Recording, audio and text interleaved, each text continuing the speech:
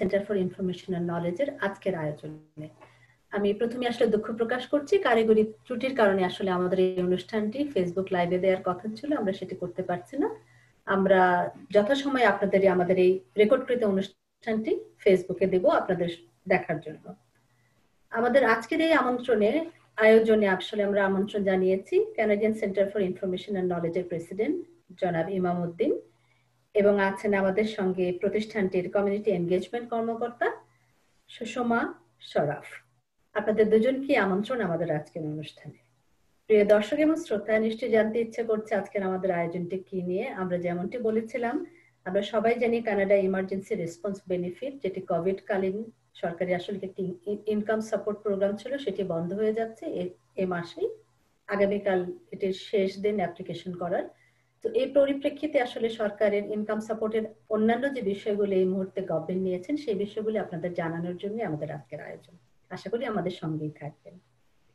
আমি সুষমাকে দিয়ে আসলে শুরু করতে যাচ্ছি আমাদের মূল আলোচনা পর্বটি।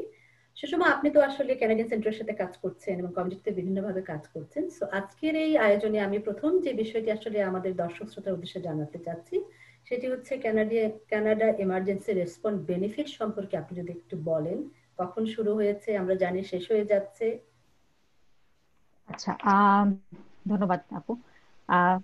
কানাডা ইমার্জেন্সি রেসপন্স বেনিফিট যেটা আমরা জানি, এটা মার্চের পনেরো তারিখ থেকে শুরু হয়েছে অলরেডি এটা হচ্ছে একটা ট্যাক্সেবল ক্রেডিট যেটা দু হাজার ডলার করে দেওয়া হচ্ছিল প্রতি চার সপ্তাহ অন্তর অন্তর।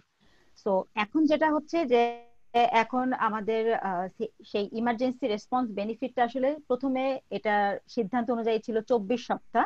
এখন যেটাকে বাড়িয়ে আসলে আঠাশ সপ্তাহ করা হয়েছে। এবং এটার শেষ যেই পিরিয়ডটা সেটা হচ্ছে অগাস্ট ত্রিশ থেকে সেপ্টেম্বরের ছাব্বিশ তারিখ পর্যন্ত। সেক্ষেত্রে সেই অনুযায়ী আগামীকাল এটার শেষ ডেট বলা হচ্ছে। অর্থাৎ কেউ যদি অ্যাপ্লাই করতে চায়, সেক্ষেত্রে সেপ্টেম্বরের ছাব্বিশ তারিখ হচ্ছে এটা শেষ তারিখ। এবং এক্ষেত্রে অনলাইনে যেভাবে তারা অ্যাপ্লাই করতো সিআরএ মাই অ্যাকাউন্ট দিয়ে কিংবা টোল ফ্রি নাম্বার দিয়ে সেভাবেই তারা অ্যাপ্লাই করতে পারবে সিআরবির এই শেষ তারিখে, কাল পর্যন্ত। আর এক্ষেত্রে ইমার্জেন্সি বেনিফিটের যেটা আসলে ছিল যে এলিজিবল ওয়ার্কার যদি আমরা বলি যে যারা তাদের চাকরি হারিয়ে ফেলেছে কিংবা কোভিড এর কারণে কাজ করা বন্ধ করে দিয়েছে কিংবা তাদের আসলে তারা তাদের আওয়ার্সগুলো পাচ্ছিল না, তাদের ক্ষেত্রে এই সিআরবিটা চালু করা হয়েছিল। এবং যারা ইমার্জেন্সি এই এমপ্লয়মেন্ট ইন্স্যুরেন্সের রেগুলার বেনিফিটগুলা পেত কিংবা সিকনেস বেনিফিটগুলা পেত, তারা এই সিআরবির আন্ডারে এই জিনিসটা অ্যাপ্লাই করতে পারবে। এবং অবশ্যই এখানে যেটা মনে রাখার বিষয়, সেটা হচ্ছে এটা একটা ট্যাক্সেবল ক্রেডিট তার মানে হচ্ছে পরবর্তী বছরে যখন দু হাজার বিশের ট্যাক্স ইয়ার হবে, এটা তখন কাউন্টেড হবে। এবং এটার জন্য যে টি ফোর স্লিপগুলা থাকবে, সেটাও আসলে সিআর এর যে মাই অ্যাকাউন্ট আছে, তার আন্ডারে এই স্লিপগুলা অ্যাভেলেবেল থাকবে। তো এটা সেই ট্যাক্সের আন্ডারে পড়বে তখন। আচ্ছা, আচ্ছা। ধন্যবাদ সুষমা। আপনি সিআরবি নিয়ে খুব সুন্দর করে বললেন আসলে বিশেষ করে যে ট্যাক্সেবল ইনকাম এই বিষয়টি আসলে ক্লিয়ার করার জন্য ধন্যবাদ। এবার আমি আসলে ইমাম উদ্দিনের কাছে যাচ্ছি। সুষমা যেমনটি বললেন যে কানাডা এমার্জেন্সি রেসপন্স বেনিফিটটি বন্ধ হয়ে যাচ্ছে আগামীকাল শেষ দিন যারা আবেদন করেননি আসলে শেষ সময়টির জন্য টাইম স্লট যেটি আছে সম্ভবত ত্রিশে আগস্ট থেকে ছাব্বিশে আগস্ট তো কালকে হচ্ছে শেষ দিন। তো ইমামুদ্দিন আমি যেটা জানতে চাচ্ছি এই বেনিফিটটি বন্ধ হয়ে যাচ্ছে কিন্তু সে সাথে গভর্নমেন্ট আসলে ইনকাম সাপোর্টের জন্য অন্য কি ধরনের মানে ব্যবস্থা এই মুহূর্তে হাতে নিয়েছেন সেটি যদি আপনি আমাদের দর্শক শ্রোতাদের জন্য বলেন। ধন্যবাদ তহিদা চৌধুরী। গভর্নমেন্ট যে প্রোগ্রামটা নিচ্ছে বেসিক্যালি যে গতকাল পার্লামেন্টে একটা বিল উঠেছে সি টু নামে। তো এই বিল যেটা হচ্ছে যে যে ইআই এমপ্লয়মেন্ট ইন্স্যুরেন্সের যে নিয়ম, যেমন সিআরবি এতদিন সবাই ছিল সিইআরবির মধ্যে, এটাকে ওনারা একটা অংশকে নিয়ে যাবে ইআই তে, যারা এলিজিবল হবেন। ইআই এর কিছু কারেকশন করা হয়েছে, যেমন ওয়ান হান্ড্রেড টোয়েন্টি আওয়ার্স যদি কারও গত বারো মাসে কারও একশো বিশ ঘণ্টা কাজ করে থাকেন, তাহলে ওনারা ইআই এর জন্য এলিজিবল হবেন। তো এটা একটু ইন্টারাপ্ট করি। আগে তো এটার আসলে আওয়ারটা বোধহয় ছিল নয়শো ঘণ্টা কাজ করতে হবে। এটা ভিত্তিতে বিভিন্ন রকম সাতশো থেকে সাতশো আওয়ার বা বিভিন্ন আওয়ার এখন এটাকে গভর্নমেন্ট ক্রেডিট দিচ্ছে। ইয়ার কিছুটা কারেকশন করছে এক বছরের জন্য। সো তারা এখন একটা বড় অংশ বিশেষ করে আপনি যদি দেখেন যে বারো মাস লাস্ট টুয়েলভ মান্থসে কেউ যদি জব লস করেন মানে কেউ যদি টার্মিনেটেড হন সেটা না, যে কেউ যদি জব লস করেন মানে সাধারণত তারা তাদের একটা অংশ ইএ জন্য এলিজিবল হবেন এবং ইএ তে যাবেন। বিশেষ করে আরেকটা অংশ, তারা স্পেশাল বেনিফিটস এ যাবেন। স্পেশাল বেনিফিটস এ বিশেষ করে যারা সেলফ এমপ্লয়মেন্ট বিজনেস করেন, নিজের ইনকাম নিজে করেন, তারা এবং যারা ম্যাটারনিটি বা প্যাটার্নাল লিভ তারা যাবেন একটা অংশ সেটার মধ্যে, তাদের সেখানে আওয়ার্স এর কিছুটা ডিফারেন্স আছে, এটা একটা। আর একটা বড় অংশ মানে এরপরও এখন প্রায় ফোর মিলিয়ন লোক, প্রায় চল্লিশ লাখ লোক পাচ্ছে কিন্তু এটার একটা বড় অংশ ইআই এরা এলিজিবল হবেন না। যেমন আপনি যদি মনে করেন যে গত বারো মাস, তাহলে কিন্তু সেপ্টেম্বরের আগে, আজকে যদি পঁচিশ তারিখ আমরা ধরি, এর আগে তাহলে তারা কিন্তু এলিজিবল হবে না বা আওয়ার্স এর কারণে হবে না। তারা আবার সি মানে কানাডা স্পেশাল রেসপন্স বেনিফিট যেটা পার্লামেন্টে গতকাল উঠল, এখনও পাস হয় নাই, কিন্তু পাস হবে, সেই ইমার্জেন্সি রেসপন্স বেনিফিটের জন্য এলিজিবল হবে। এখানে আমি একটু বলে রাখি যে যারা সিআরবি পেয়েছেন, কেউ কানাডা রেভিনিউ এজেন্সির মাধ্যমে অ্যাপ্লাই করে পেয়েছেন, কেউ সার্ভিস কানাডার মাধ্যমে অ্যাপ্লাই করে পেয়েছেন। কিন্তু এখানে অ্যাপ্লাইটা হবে আপনার সার্ভিস কানাডা এবং একটু আমি সরি আমি একটু একটু দুঃখিত এখানে কেউ সার্ভিস কানাডার মাধ্যমে এখন যারা অটোমেটিক্যালি যারা আগে সার্ভিস কানাডার মাধ্যমে অ্যাপ্লাই করেছেন, তারা কিন্তু সরাসরি তাদের আর নতুন করে অ্যাপ্লাই করতে হবে না। কিন্তু যারা সার্ভিস কানাডার মাধ্যমে অ্যাপ্লাই করেন নাই যারা সরাসরি ইআইতে যাবেন তাদের, কিন্তু ওনারা ইয়ের জন্য এলিজিবল হবেন না, কিন্তু কানাডা স্পেশাল রেসপন্স বেনিফিটের জন্য এলিজিবল হবে। তাদের মানে ইয়ের জন্য যারা এলিজিবল তাদেরও করতে হবে সার্ভিস কানাডার মাধ্যমে। আর যারা ইয়ের জন্য এলিজিবল হবেন না, তাদেরকে কানাডা রেভিনিউ এজেন্সির মাধ্যমে অ্যাপ্লাই করতে হবে। অ্যাপ্লিকেশনটা কবে করবে, সেটা এখনও ডিসিশন নেওয়া হয় না এটা আজকেও এটা নিয়ে অনেক ইয়ে হয়েছে যে আসলে প্রায় চল্লিশ লাখ লোকের একটা ব্যবস্থা করছে। তো ওনারা এখনও ডিক্লেয়ার করেন নাই যে কবে অ্যাপ্লিকেশন করতে হবে। সেটা হয়তো আগামী কয়েকদিন আমাদের অপেক্ষা করতে হবে। যদি দেখা যাচ্ছে যে এটা আরও দেরি হয় অ্যাপ্লিকেশন করতে, সেই ক্ষেত্রে সিআরপি আরও এক মাসের জন্য বর্ধিত করতে পারে, যেটা এখন মানে আঠাইশ উইক গেছে, সেটা হয়তো উনত্রিশ টোয়েন্টি নাইন উইক যেতে পারে। এই হচ্ছে মোটামুটি ইআই থেকে মানে মানে ইআইটা দুই ভাগে গেল, একটা হচ্ছে ইআই জেনারেল যেটা, সেটা, আর একটা হচ্ছে স্পেশাল বেনিফিট এরপর আরেকটা হচ্ছে Canada Canada emergency response benefit এখানে আরও আরও বিষয় উল্লেখ কর, যে রেসপন্স বেনিফিট প্রথম লিবারেল গভর্নমেন্ট চেয়েছিল যে প্রতি সপ্তাহে চারশো ডলার করে, ষোলোশো ডলার পাবেন ওনারা মাসে। মানে চার সপ্তাহে, কিন্তু সেটাকে এনডিপি এটাকে পুশ করার পর এটা এখন আগের মতোই পাঁচশো ডলার করে ওনারা সেটা দিবেন এটা গতকাল পার্লামেন্টে যে বিলটা হয়েছে, সেটা আগের সিআরবির মতোই পাঁচশো ডলার করে সেটা তারা রাজি হয়েছে। তো এখানে যেমন আর একটু ক্লিয়ার করি আপনাকে যে কানাডা ইমার্জেন্সি রেসপন্স বেনিফিট এর ক্ষেত্রে কানাডা সিকনেস বেনিফিট একটা আছে, যেটা কেউ যদি কোভিড নাইন্টিন এর কারণে অসুস্থ হয় কোয়ারেন্টাইনে থাকেন তাদেরকে দুই সপ্তাহের জন্য এই সিকনেস বেনিফিটটা দেওয়া হবে। এটা হচ্ছে মাত্র দুই সপ্তাহের জন্য পাঁচশো ডলার করে। আমি একটু ইন্টারাপ্ট করতে চাচ্ছি জনাব ইমামউদ্দিন সিআরবি বা কানাডা ইমার্জেন্সি রেসপন্স বেনিফিট বন্ধ হওয়ার পরে আপনি যেমনটি বললেন ইআই এর আসলে দুটো স্লট এখানে। একটা হচ্ছে জেনারেল বা রেগুলার ইআই কেউ চলে যাবেন ওখানে এবং একটা হচ্ছে স্পেশাল ইআই এবং আবেদন প্রক্রিয়াটা আপনি যদি একটু আরেকবার একটু ক্লিয়ার করেন যে আমরা আগে যেটা করেছিলাম টোল ফ্রি নাম্বারে ফোন দিয়ে অনেকে অ্যাপ্লাই করতে পেরেছি বা অনলাইনে করেছি। আপনি অলরেডি বলেছেন, তারপর আমার কাছে মনে হচ্ছে যে রেগুলার ইআই এবং স্পেশাল ইআই এখানকার আবেদন প্রক্রিয়াটা যদি আপনি আরেকটু ক্লিয়ার করেন আমাদের জন্য। আগে যেটা হচ্ছে কেউ হয়তো মানে সাত টাইপ পেয়েছে। মানে দুইটার ক্ষেত্রে আবেদনটা করতে হবে সার্ভিস কানাডার মাধ্যমে নট কানাডা রেভিনিউ এজেন্সির মাধ্যমে। দুইটাই মানে ইএতে যারা যাবেন তাদের আবেদন করতে হবে বলতে সরাসরি যারা আগে সার্ভিস কানাডার মাধ্যমে আবেদন করেছেন তাদের নতুন করে আর আবেদন করার দরকার নেই। তারা সরাসরি ওনারা এআই তে চলে যাবেন। কিন্তু যারা সিআর এর মাধ্যমে অ্যাপ্লাই করেছিলেন আগে তাদের আবার করে অ্যাপ্লাই করতে হবে। সার্ভিস কানাডার মাধ্যমে।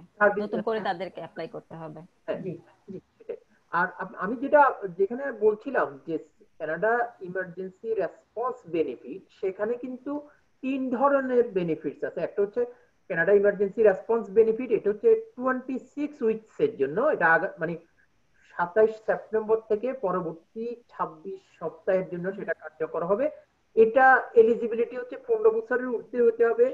কেউ মানে কোভিড নাইন্টিন জনিত কারণে চাকুরি হারিয়েছেন মানে ইচ্ছাকৃত না এবং কন্টিনিউ জব সার্চ করছেন কিন্তু জব পাচ্ছেন না, তারা হচ্ছেন এটার এলিজিবল এবং তাদের পাঁচ হাজার মিনিমাম পাঁচ হাজার ডলার আয় থাকতে হবে টু এটা এক বছর না।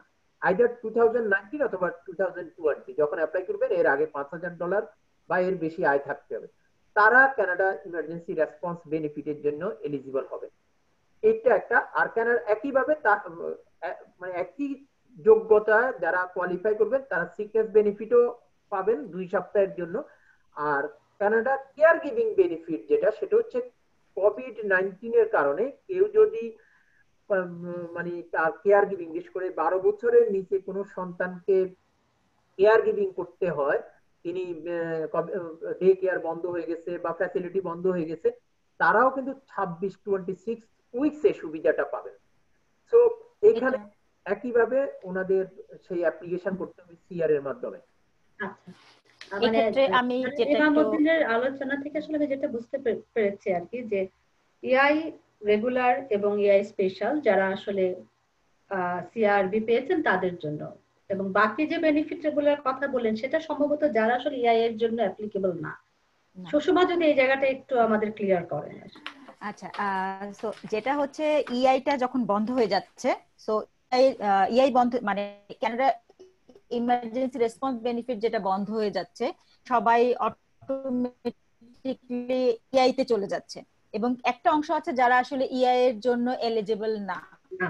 তো সেক্ষেত্রে গভর্নমেন্ট এই বিষয়ে যেটা যাদের স্টিল টেম্পোর মানে ইনকাম সাপোর্টটা দরকার তো তারা ইআই এর জন্য এলিজিবল না। কিন্তু তাদেরকে তখন তিনটা বেনিফিটের আন্ডারে গভর্নমেন্ট ফেলছে। সেটা হচ্ছে, প্রথমটা হচ্ছে যে ক্যানাডা রিকভারি বেনিফিট যেটা ভাইয়া বলছিলেন, ইমাম ভাইয়া বলছিলেন। আর দ্বিতীয়টা হচ্ছে ক্যানাডা রিকভারি সিকনেস বেনিফিট এবং তৃতীয়টা হচ্ছে Canada recovery care giving benefit এবং এক্ষেত্রে যে রিকভারি বেনিফিট যেটা ভাইয়া বললেন যে এটা আসলে ছাব্বিশ সপ্তাহ জন্য দেওয়া হবে এবং এটা কালকে থেকে সেপ্টেম্বরের সাতাশ তারিখ থেকে এফেক্টিভ হচ্ছে। সিআরবি বন্ধ হচ্ছে কালকে, তারপরে সেপ্টেম্বর সাতাশ থেকে এটা এফেক্টিভ হচ্ছে। ছাব্বিশ সপ্তাহ দেওয়া হবে এবং সম্ভবত পার্লামেন্টের ডিসিশন অনুযায়ী এটা চারশো থেকে আসলে পাঁচশো করা হচ্ছে পার উইক করা হচ্ছে।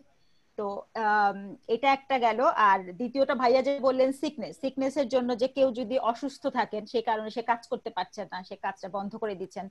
তো, সেক্ষেত্রে সে দুই সপ্তাহ পাবেন। দুই সপ্তাহ পর্যন্ত সে বেনিফিটটা পাবেন পাঁচশো ডলার করে। এখানে এটা বলা হচ্ছে দুই সপ্তাহ দেওয়া হবে। এবং আচ্ছা, এটাও সেপ্টেম্বর সাতাশ তারিখ থেকে জি সুষমা একটু ইন্টারাপ্ট করছি আমি। সিকনেস বেনিফিটের কথা যেটা বললেন সিকনেস এর কি এক্ষেত্রে কোনো ডেফিনেশন আছে যেটা কোভিড রিলেটেড হতে হবে? অথবা কোন ধরনের এখানে কোভিড রিলেটেড কোভিড রিলেটেড হতে হবে। যদি আপনি নিজেকে সেলফ আইসোলেশনে নিয়ে যান কিংবা আপনার মনে হয় যে আমার রিজনস আছে যে আমার কোভিড এর আমি ধারণা করছি সেই ক্ষেত্রে আমি সিক ফিল করছি। এই ক্ষেত্রে এজন্য এটা আসলে দুই সপ্তাহ পর্যন্ত দেওয়া হচ্ছে যে আপ টু টু উইকস পাঁচশো ডলার করে এই সিকনেস বেনিফিটটা প্রোভাইড করা হবে। এটা। আর থার্ড যেটা ছিল care giving benefit care giving বেনিফিটের ক্ষেত্রে এটাও ছাব্বিশ সপ্তাহ দেওয়া হবে এবং এটা পার হাউস হোল্ড দেওয়া হবে যে ছাব্বিশ সপ্তাহ। সেক্ষেত্রে যারা এখানে যেহেতু ডে কেয়ার বন্ধ স্কুল বন্ধ তো বাচ্চাদেরকে টেক কেয়ার করতে হচ্ছে। তো বাচ্চাদেরকে টেক কেয়ার করছে কিংবা ফ্যামিলির যে কোনো মেম্বার এদেরকে যখন কেউ টেক কেয়ার করছে সেই ক্ষেত্রে এটা পাঁচশো ডলার করে ছাব্বিশ উইক পার হাউস হোল্ড সরকার সেটা প্রোভাইড করছেন। এই হচ্ছে তিনটা বেনিফিট যেটা ইআই বন্ধ হওয়ার মানে ইআই যারা হ্যাঁ তাদের জন্য এই বাকি তিনটা বেনিফিট আসলে এখন দেওয়া হচ্ছে গভর্নমেন্ট থেকে। ধন্যবাদ সুষমা। আমি আবার একটু ইমামুদ্দিনের কাছে ফিরে আসছি আসলে। আমরা আলাপ করলাম যে যারা এতদিন কানাডা ইমার্জেন্সি রেসপন্স বেনিফিটে ছিলেন তারা ইআই তে ফিরে যেতে পারবেন রেগুলার ইআই এবং একই সাথে স্পেশাল ইআই এই এই সুবিধাগুলো আছে। এবং যারা আসলে কোনোটাতে এলিজিবল না, তারা কি করবেন? তাদের জন্য যে তিনটি বিষয়, সুষমা এবং ইমামুদ্দিন দুজনের বিষয়টা আলোচনা করলেন। আমি এখন আসলে অন্য একটা বিষয় এখানে নিয়ে আসতে চাই, যে আমাদের সোসাইটিতে অনেকে আছেন যাদের কিছু লিমিটেশন থাকে। পার্সোনাল ডিসেবিলিটি অথবা আমাদের সিনিয়র যারা আছেন, তাদের ক্ষেত্রে আসলে কি ধরনের এই ধরনের ইনকাম সাপোর্ট রয়েছে? ধন্যবাদ তহিদা আমি এটা আপনি শুনতে পাচ্ছেন তহিদা জি আমি শুনতে পাচ্ছি।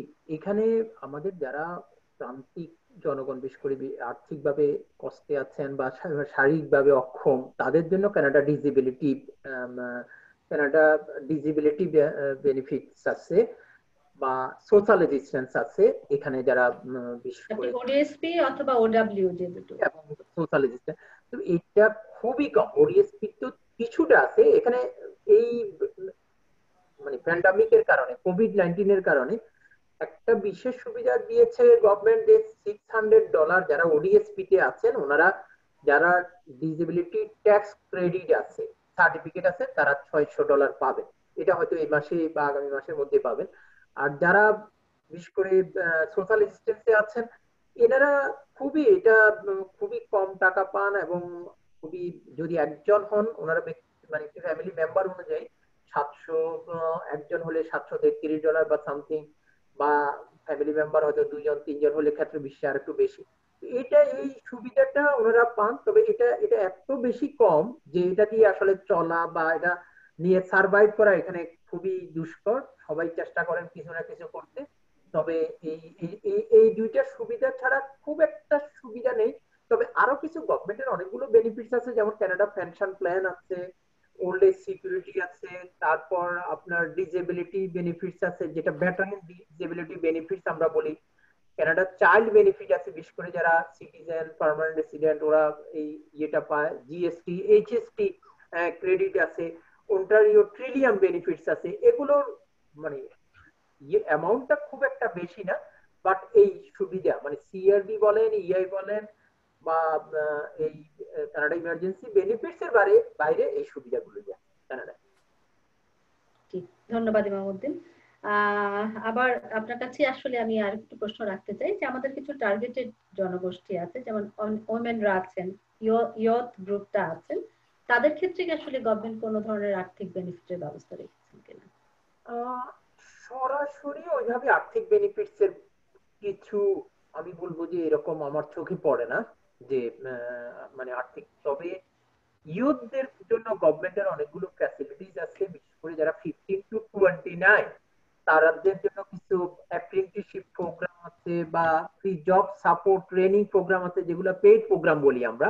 আমি যদি আপনাকে বলি যে, আমি যেখানে এমপ্লয়মেন্ট যে সার্ভিস প্রোভাইডার প্রতিষ্ঠানে কাজ করি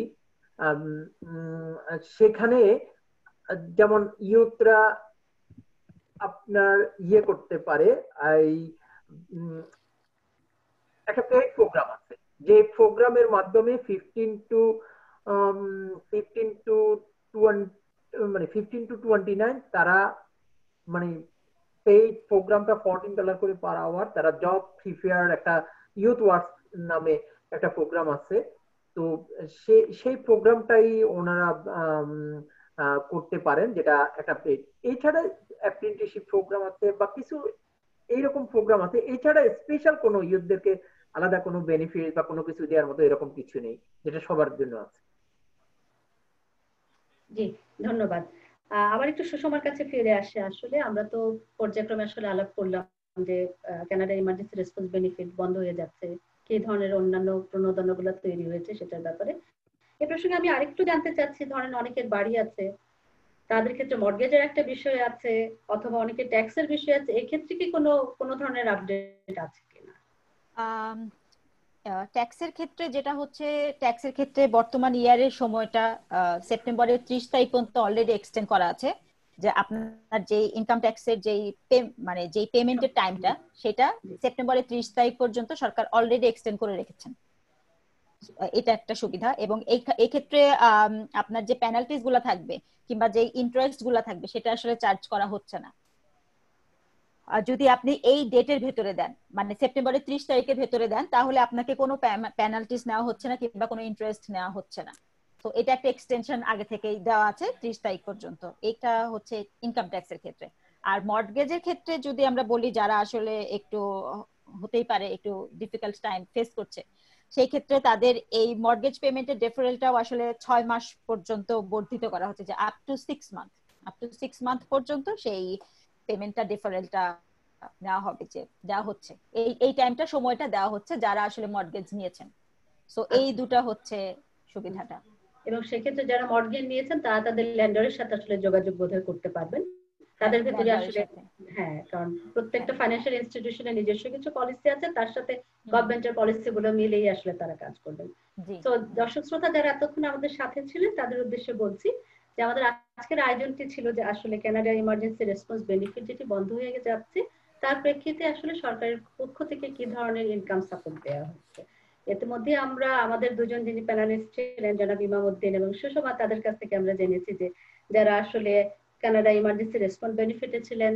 দু ধরনের আসলে ইআই এর সুযোগ করে দেওয়া হয়েছে। একটি রেগুলার ইআই যারা অটোমেটিক্যালি চলে যাবেন ইআই প্রোগ্রামে এবং আরেকটি হচ্ছে আসলে স্পেশাল ইআই প্রোগ্রাম এছাড়া আরও কিছু সুবিধাদি তৈরি হয়েছে যে যারা আসলে ইআই এর জন্য কোনোভাবেই আসলে এলিজিবল না। তাদের জন্য আছে আসলে কানাডা রিকভারি বেনিফিট আছে Canada recovery sick sick benefit এবং সেই সঙ্গে আছে Canada recovery care giving benefit আমরা আমাদের আজকের এই আয়োজনে যতটুকু পেরেছি জানানোর চেষ্টা করেছি। আপনাদের আরও তথ্য জানতে হলে আমাদের সাথে যোগাযোগ করতে পারেন, অথবা সিআই ওয়েবসাইট এবং সার্ভিস কানাডা ওয়েবসাইট দুটি আছে, সেখানে আপনারা দেখে নিতে পারেন এবং আপনাদের যে প্রশ্ন থাকে সে ব্যাপারে আসলে সেই সেই, আশা করি সেই উত্তরগুলো আপনারা ওখান থেকে পেয়ে যাবেন। আর ক্যানাডিয়ান সেন্টারে যোগাযোগ করলেও আপনাদের প্রশ্ন নিয়ে আমরা নিশ্চয়ই জানাতে পারব। তো আজকের অনুষ্ঠান আমরা এখানে শেষ করছি। সবাই ভালো থাকবেন, সুন্দর থাকবেন। ধন্যবাদ যাচ্ছি জানাচ্ছি আমাদের দুজন প্যানালিস্টকে এবং আমরা ভবিষ্যতে আরও অন্য কোনো আয়োজনে আবারও দেখা হবে। ভালো থাকবেন।